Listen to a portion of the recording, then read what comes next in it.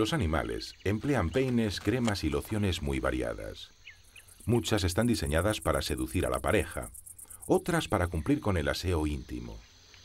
Como veremos, algunas de esas sustancias resultan asombrosas. Otras, por el contrario, son aparentemente muy sencillas. Por ejemplo, la saliva. Con el clásico lamido y unos rascados con los dientes, sirve para dar un retoque aquí y allá, manteniendo el pelaje presentablemente peinado y limpio.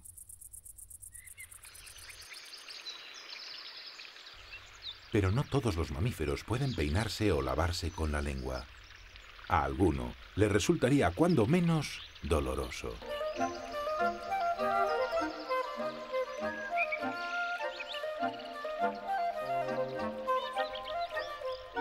¿Qué hace entonces este animal lamiéndose? Está claro que sus púas no se peinan y que resulta imposible penetrar entre ellas para desembarazarse de los parásitos incluso usando unas uñas tan afiladas. Si el erizo no persigue limpiarse de esta manera, ¿qué razón hay que explique un hábito aparentemente tan infructuoso como el de estos lengüetazos? El comportamiento de lamerse los pinchos es muy difícil de ver en la naturaleza. Aún así, los estudiosos de estos mamíferos han observado que tan ocasional conducta forma parte de las pautas de higiene de la especie. Que sepamos, aún no se ha dado una explicación definitiva al hecho, pero sí se le ha puesto nombre, auto-spitting.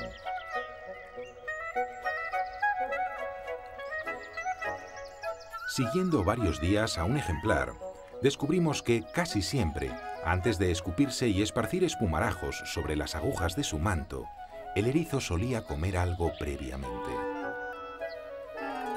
Al principio creíamos que mordisqueaba la tierra a la caza de larvas, pero lo que hacía en realidad era buscar cosas que despidieran un olor fuerte para mezclarlas con su saliva.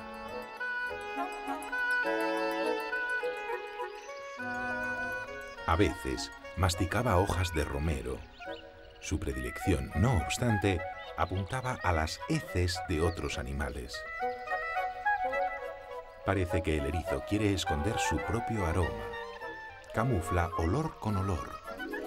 Perfumarse, a su manera, pero perfumarse. No deberían extrañarnos las costumbres del erizo. Nuestros más sofisticados perfumes contienen también esencias muy malolientes. Una mínima porción de hediondo almizcle de cabra combinado con otros olores, produce aromas delicados y sugerentes, transformando los efluvios corporales. Y curiosamente, las fragancias que más nos gustan son las diseñadas por las flores. Como a los insectos. ¿Otra extraña coincidencia? Algunas pequeñas criaturas recurren también a una loción para esconder su presencia. La espumadora es un animal perezoso. Vive la mayor parte del tiempo clavado al tallo de una planta. De ella extrae la esencia para fabricar su particular espuma.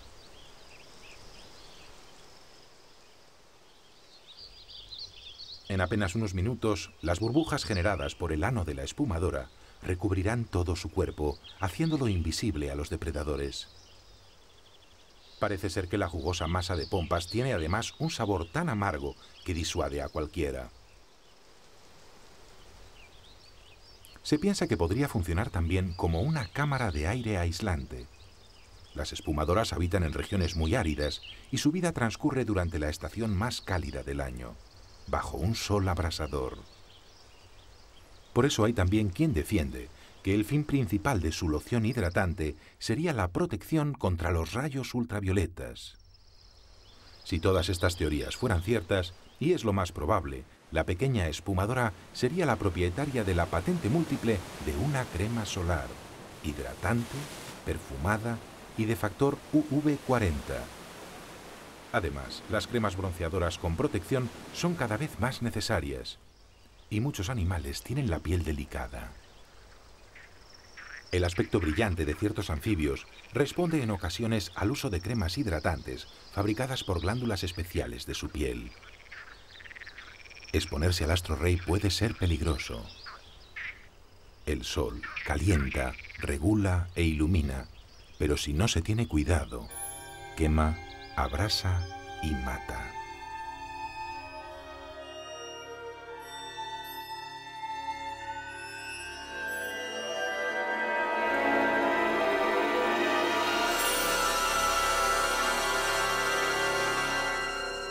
La potencia abrasadora del sol es tal que hay quien ha conseguido ponerla a su servicio.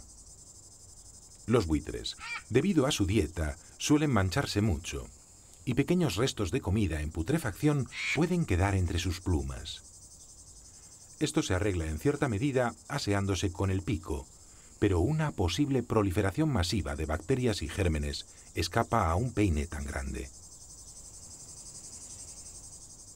Los buitres han aprendido que un baño solar al mediodía, cuando la atmósfera filtra menos ultravioletas y la radiación es más agresiva, es el sistema verdaderamente eficaz para acabar con los microbios que quieren instalarse entre su plumaje.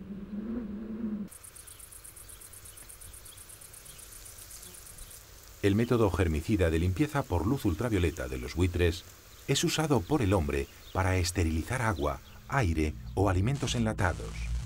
Es muy efectivo, aunque entraña riesgos. Esta luz puede quemar la piel o dejar ciega a una persona en pocos segundos, pero limpia, como solo el sol podría hacer.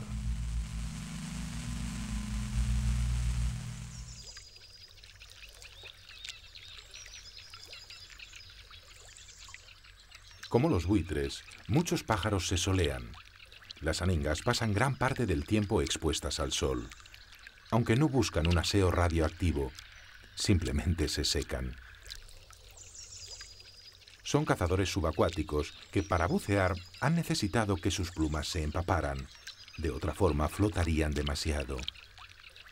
Lo que ocurre es que las plumas mojadas no sirven para el vuelo y nunca se sabe cuándo aparecerá un peligro.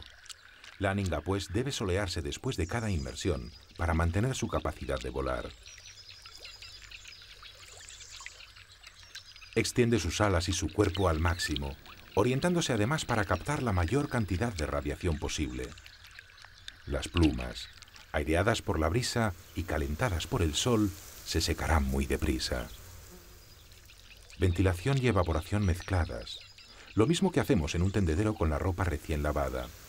La extendemos y la estiramos al máximo para solearla bien, no como creen algunos para que no queden arrugas y ahorrar tiempo de planchado.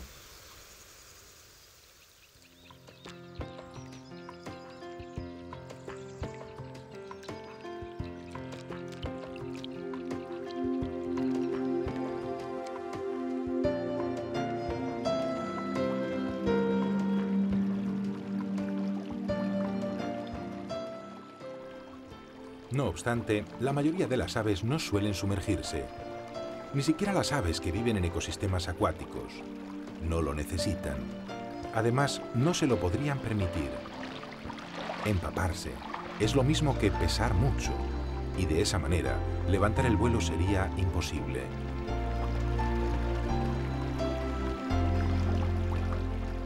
El control al volar se obtiene sobre todo gracias a las plumas y las plumas, para conformar superficies que se adapten al aire, han de estar en perfecto estado. Limpias y más que ninguna otra cosa, ordenadas. El pico es la herramienta esencial para colocar los miles de plumas que recubren a un ave. Una solapada con otra y esta con la siguiente.